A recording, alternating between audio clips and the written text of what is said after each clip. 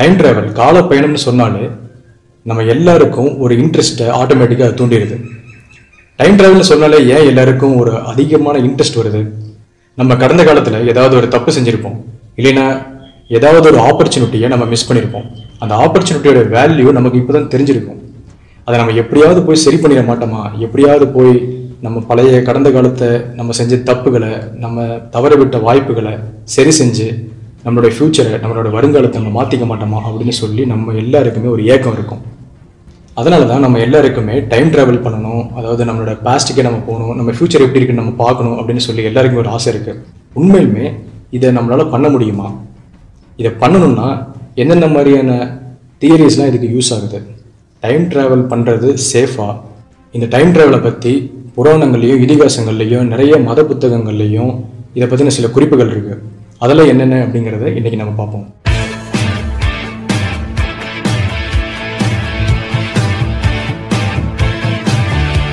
Time டிராவல்னு சொல்லப்படுற இந்த கால பயணத்தை பற்றி நம்ம கேட்கும்போது நம்ம எல்லாருக்கும் ஏதோ ஒரு சினிமா படம் ஞாபகம் தான் வரும். எக்ஸாம்பிளுக்கு சொல்லணும்னா ஏதோ ஒரு படத்தில் ஒரு ஹீரோ வந்து ஒரு கையில் ஒரு வாட்ச் மாதிரி சின்னதாக ஒரு டிவைஸ் கட்டியிருப்பாரு. அவர் வந்து அந்த வாட்சை டைல திருப்பி திருப்பியே பாஸ்ட்டுக்கோ இல்லை ஃப்யூச்சருக்கோ போய் ஏதாவது ஒரு ப்ராப்ளத்தை சால்வ் பண்ணுவார். இல்லைன்னா அந்த ஹீரோவே ஏதோ ஒரு டைம் மிஷின் மாதிரி ரெடி பண்ணி அதில் உட்காந்து பாஸ்ட்டுக்கோ இல்லை ஃப்யூச்சருக்கோ போய் ஏதோ ஒரு ப்ராப்ளத்தை சால்வ் பண்ணுவார். இதை நம்ம படங்களில் பார்த்துருக்கோம்.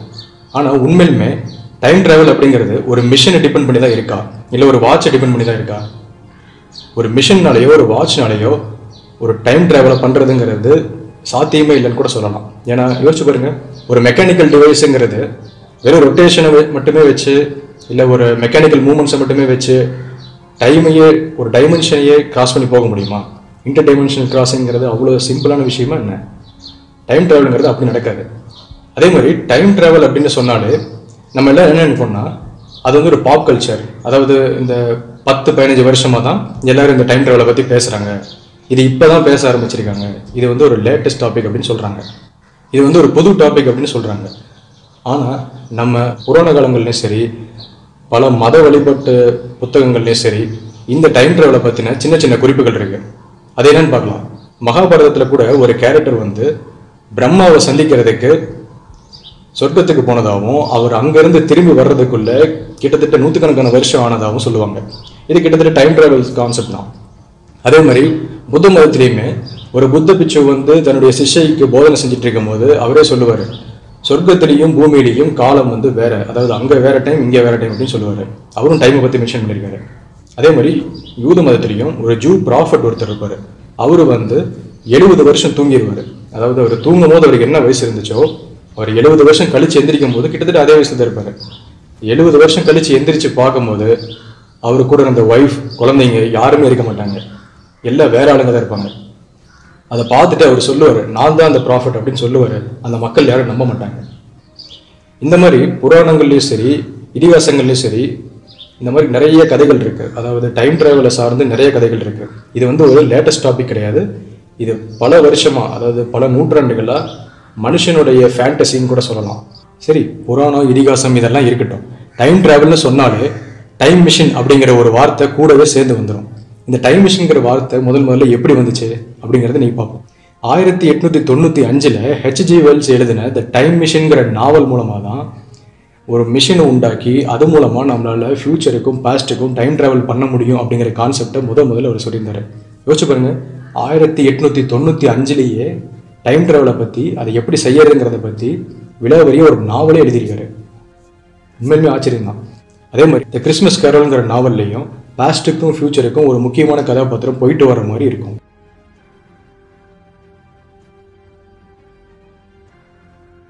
நம்ம எல்லாருமே ஒரு ஃப்யூச்சருக்கு போகணும்னு ஆசைப்படுறத விட பாஸ்ட்டுக்கு போகணும் அப்படின்னு ஆசைப்படுவோம். ஏன்? நம்ம வாழ்க்கையில் சில ஆசைகள் வந்து நிராசையாக இருக்கும். அதை எல்லாத்தையும் திரும்பவும் நம்ம அந்த இடத்துக்கு போய் நிறைவேற்றிக்கலாம் நம்ம அங்கே போனால் நம்ம அந்த தப்பை சரி செஞ்சிடலாம் அப்படிங்கிற ஒரு எண்ணத்தில் தான் பாஸ்ட்டுக்கு போகணும் அப்படின்னு சொல்லி எல்லாருமே ஆசைப்படுறாங்க. உங்களுக்காக இருக்கட்டும் எனக்காக இருக்கட்டும் எல்லாருக்குமே அந்த ஆசை இருக்கும். ஏன்னா நம்ம பாஸ்ட்ல ஏதாவது ஒரு தப்பு பண்ணியிருப்போம் அந்த தப்பை இப்போ நமக்கு சரின்னு தோன்ற அந்த ஆங்கிள் மூலமாக நம்ம சரிப்படுத்தலாம் அப்படின்னு நினைப்போம். சரி டைம் ட்ராவல்னு சொன்னோடனே நம்ம எல்லாருக்கும் என்ன ஞாபகம் வருது? ஒரு பாஸ்ட்டுக்கோ இல்லை ஃப்யூச்சருக்கோ போய் சில விஷயங்களை நம்மளால் முடிஞ்ச அளவுக்கு மாற்ற முடியும் அப்படின்னு நம்ம நினைக்கிறோம். இப்போ நிறைய சயின்டிஸ்ட் என்ன சொல்கிறாங்கன்னா ஒரு டைம் மிஷினை உண்டாக்குனா திரும்ப அந்த டைம் மிஷின் கான்செப்டுக்கே வருவோம். ஒரு டைம் மிஷின் உண்டாக்குனா உங்களால் அந்த டைம் மிஷின் உண்டான காலத்தில் இருந்து ஃப்யூச்சருக்கு தான் போக முடியுமே தவிர பாஸ்ட்டுக்கு போக முடியாது அப்படின்னு சொல்கிறாங்க இன்றைக்கி வந்து மே ஏழாம் தேதி. மே ஆறாம் தேதி ஒரு டைம் மிஷின் கண்டுபிடிக்கிறாங்கன்னு ஒரு எக்ஸாம்பிளுக்கு வச்சுக்கலாம். நான் வந்து மே எட்டாம் தேதிக்கோ இல்லை மே இருபதாம் தேதிக்கோ அடுத்த வருஷம் மே இருபதாம் தேதி கூட நான் என்னால் ஃப்யூச்சருக்கு போக முடியும். ஆனால் மே அஞ்சாம் தேதிக்கோ இல்லை ஏப்ரல் மாதமோ ரெண்டாயிரத்தி இருபது ஏப்ரல் மாதமோ என்னால் போக முடியாது. காரணம் என்ன? அந்த டைம் மிஷின் வந்து மே ஆறாம் தேதி தான் கண்டுபிடிக்கப்பட்டது. அதனால் ஆறாம் தேதி கண்டுபிடிக்கப்பட்ட அந்த மிஷினை வச்சு அஞ்சாம் தேதி கூட என்னால் போக முடியாது. ஆனால் ஏழாம் தேதி எட்டாம் தேதி ஏன் அடுத்த வருஷத்துக்கு கூட போகலாம் இந்த மாதிரி தான் டைம் ட்ராவல் ஒர்க் ஆகுது அப்படின்னு சொல்லி சயின்டிஸ்ட் எல்லாருமே சொல்கிறாங்க ஈவன் நாசா கூட அப்படி தான் சொல்லுது. ஒரு டைம் மிஷின் உண்டாக்குனீங்கன்னா அந்த டைம் மிஷின் உண்டான காலத்திலேருந்து ஃபியூச்சருக்கு தான் போக முடியும். டைம் மிஷின் உண்டாக்குன காலத்துக்கு முன்னாடி அதாவது பாஸ்ட்டுக்கு உங்களால் போக முடியாது அப்படின்னு சொல்கிறாங்க நம்ம முன்னே சொன்ன மாதிரி தான் ஒரு இன்டர் டைமென்ஷனல் கிராசிங்கை வந்து ஒரு சின்ன மெக்கானிக்கல் டிவைஸால் கண்டிப்பாக கண்ட்ரோல் பண்ணவே முடியாது. அப்போ டைம் மிஷின்ங்கிற கான்செப்டே கிட்டத்தட்ட ஃபெயிலியர் தான். அப்போ டைம் ட்ராவல் எப்படி தான் பாசிபிள் நம்ம எல்லாருமே ஸ்கூல்லேயே படிச்சிருப்போம். அதாவது ஸ்பேஸ் டைம் அப்படின்னு சொல்லி படிச்சிருப்போம். கிறிஸ்டோஃபர் நோலன் மூவிஸில் கூட பார்த்துருப்போம். Space and time can be bend அதாவது விண்வெளியும் நேரமும் வளையக்கூடியது வளையும் தன்மை உடையது நமக்கு எல்லாருக்கும் வாம்போலை பற்றி தெரியும். ஸ்பேஸில் இருக்க ஒரு இடத்துல இருந்து அதாவது இப்போ நம்ம பூமியில் இருக்கோம் இங்கேருந்து நம்ம நிலா கிட்ட போகிறோம்னு வச்சுக்கோங்க. அங்கே ஒரு வாம் ஹோல் க்ரியேட் பண்ணி அந்த வாம்போல் மூலமாக நம்ம டைரெக்டாக அதாவது மார்ஸ் ஜூபிட்டர்னு தாண்டாமல் டைரெக்டாக யுரேனஸுக்கு போக முடியும். டைரெக்டாக வேறு கேலக்சிஸ் கூட போக முடியும். வேறு யூனிவர்ஸ் கூட போக முடியும் வித்தின் செகண்ட்ஸில் அதுதான் வார்ம் ஹோல் ஸ்பேஸையே ஒரு பேப்பர் மாதிரி எடுத்துக்கிட்டு அதை ரெண்டாக மடித்து ஒரு ஓட்டை போட்டிங்கன்னா ஒரு எண்டுலேருந்து இன்னொரு ரெண்டுக்கு அந்த ஓட்டை வந்து பாஸ் ஆகும். அதுதான் ஒரு லூப் மாதிரி. ஒரு ஷார்ட்கட் மாதிரி. அந்த ஷார்ட்கட் மூலமாக ஒரு எண்ட்லேருந்து இன்னொரு எண்டுக்கு டக்குன்னு போகலாம் சுற்றிட்டு போகாமல் நேர்வழியில் போனால் தான் சுற்று ஷார்ட்கட் யூஸ் பண்ணி ஈஸியாக போகிற மாதிரி. இதுதான் வார்ம் ஹோல் இந்த வார்ம் ஹோல் கான்செப்ட் எப்படி ஒரு ஸ்பேஸ்க்கு பொருந்துமோ அதே மாதிரி தான் தியரி ஆஃப் ரிலேட்டிவிட்டி படி space and time can be bend ஸ்பேஸ்க்கு பொருந்துகிற இந்த வார்ம் ஹோல் தியரியே டைமுக்கும் நிச்சயமாக பொருந்தும்ல. ஒரு எக்ஸாம்பிளுக்கு வச்சுக்கலாம். இப்போ நீங்கள் சென்னையில் இருக்கீங்க. கோயம்புத்தூர் போகணுன்னு வைங்க. சென்னையிலேருந்து கோயம்புத்தூர் போகிறதுக்கு ஹைவேஸில் போகிறீங்க போயிட்டு அங்கே ஏதோ ஒரு வேலையை முடிச்சுட்டு திரும்ப ரிட்டர்ன் ஆகும்போது வேற ரூட் மூலமாக வருவீங்க. இல்லை ஃப்ளைட் பிடிச்சி உலகத்தையே சுற்றிட்டு வருவீங்களா? இல்லையே நம்ம போன வழியில தான் வரப்போகிறோம் அதே மாதிரி தான் எப்படி காலத்தில் வந்து நாம் பாஸ்ட்ல இருந்து இப்போ ப்ரெசென்ட்ல இருக்கோம் ப்ரெசென்ட்ல இருந்து இந்த ஃபியூச்சருக்கு போக போகிறோமோ அது வந்து ஒரு லீனியர் டைரக்ஷன் ஒரே வழி தான் அப்போ ஃப்யூச்சருக்கு நம்மளால் போக முடியும்னா பாஸ்ட்டுக்கு நம்மளால் போக முடியும் அப்படிங்கிற கான்செப்டை தான் இதை சொல்லுது. இது வந்து ஒரே ஒரு நேர்கோடு.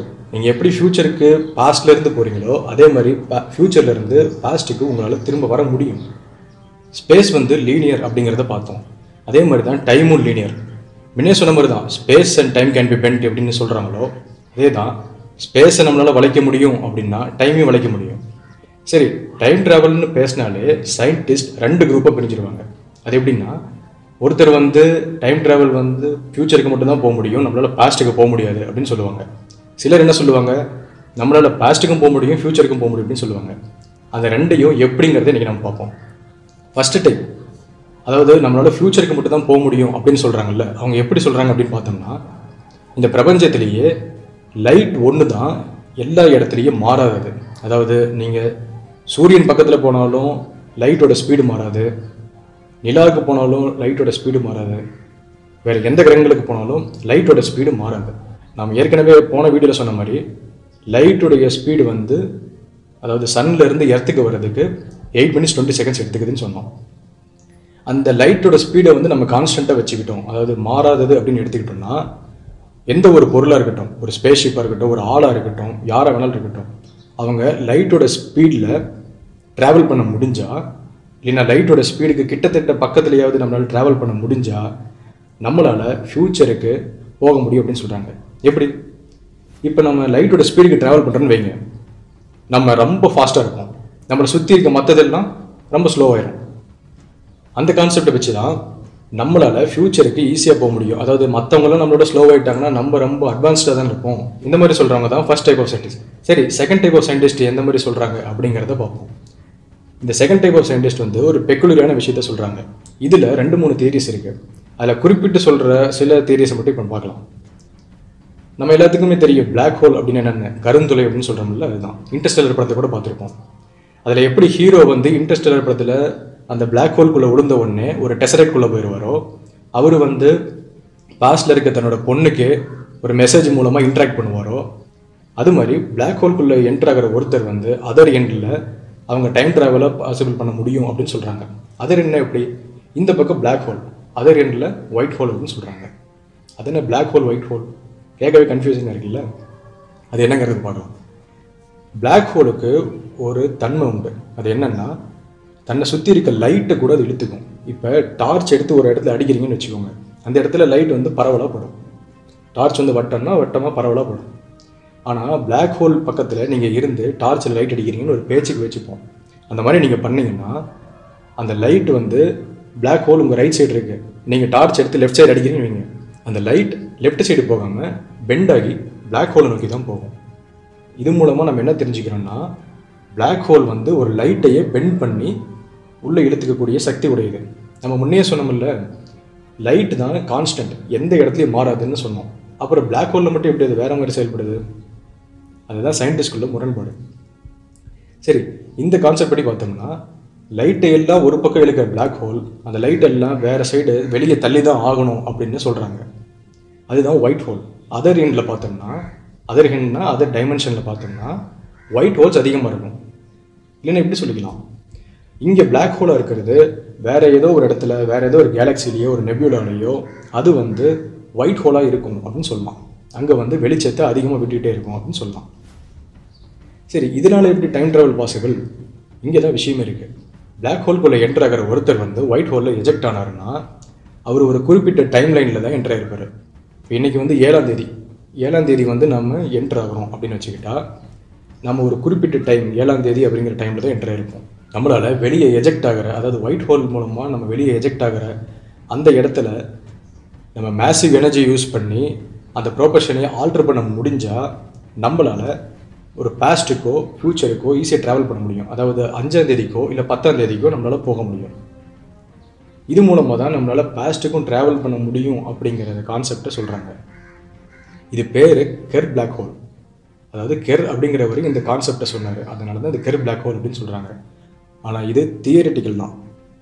இன்னும் ப்ரூவ் பண்ணுறதுக்கு எந்த விதமான ஸ்டெப்பும் எடுக்க முடியாத அளவில் தான் நம்ம இருக்கோம். சரி இன்னொரு கான்செப்ட் இருக்குது அப்படின்னு சொன்னோமே அது என்னென்னு பார்க்கலாம்.